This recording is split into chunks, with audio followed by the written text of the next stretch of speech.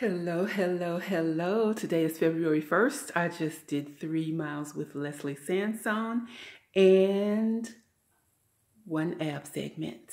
I feel good about it